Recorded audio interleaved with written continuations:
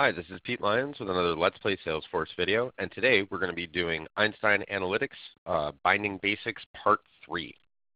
Where last we left off, we had created a bar chart that we can dynamically control the grouping and measure uh, through the use of a toggle and a static step. So today we want to create a reference line that's going to be dynamically powered by a different step. So we're going to start by moving this guy over here. We're not done with it, but we're done with it for today. And we're going to create a step from the DTC opportunities. I want to group by industry. And I want the average of amount. And I want to sort it descending this time. I'm going to go ahead and hit Done. We're going to get that guy on the screen.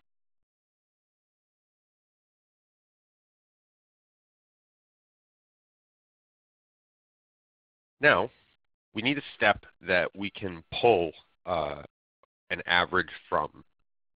So I'm going to clone this. I'm going to kill the grouping. And this is the average of uh, amount across all accounts and across all industries.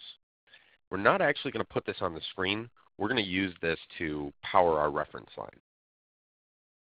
So the two steps that we've just created are industry underscore 1 and amount underscore 1. So now we need to add a reference line to this. So I go to the x-axis, I click Add Reference Line. I'm going to make the value of it 99999. And we'll see that now we have a little dark blue line right where that is.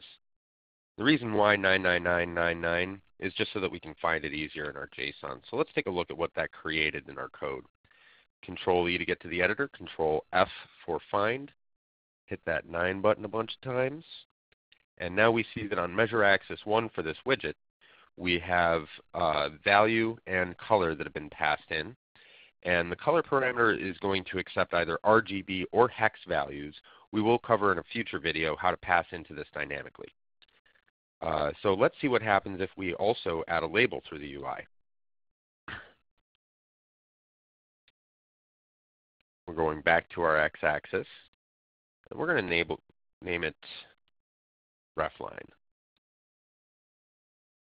Now we see a nice label appear on the line in the UI. And in our code, it's added the label parameter. So now we need to dynamically replace this 999 with the value that's coming from our other step.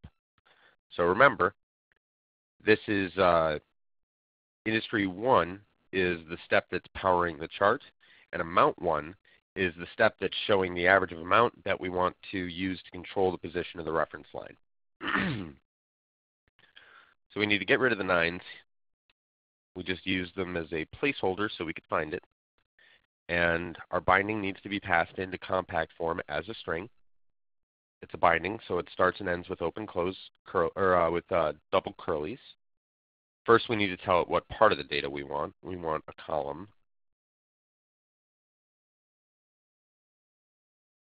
Then the column function takes two parameters. The first is going to be the name of the step.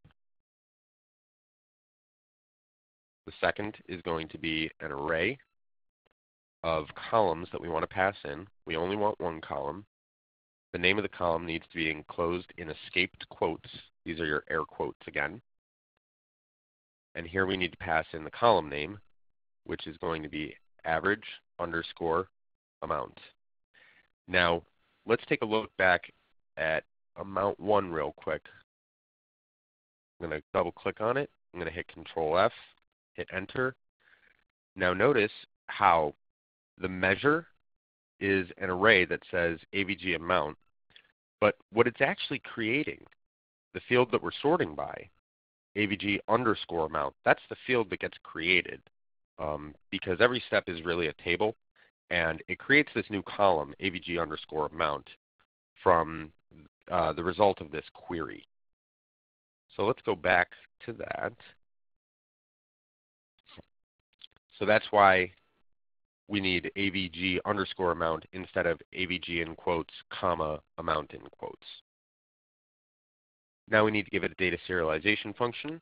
I want it as an object. And because it's a function, it must end with open close parentheses, even if that function takes no arguments. So uh, what are we saying here? Go and get the average amount column and return the result of that as an object. And I did forget one important thing here. After the step name, we need dot result. Now in previous lessons we've been doing selection, which is to say I want what the user has currently clicked on. With result, we want to know the, the sum total of what's in that column. So that's going to be the actual number of 1.1 million. So we go ahead and hit done. And now we see that our reference line is at the position 1.1 million. So uh, this completes part three. Uh, I hope you enjoyed it. I hope you learned something. Uh, and if you did, please like, uh, subscribe. Hope to see you again next time. And thanks for watching.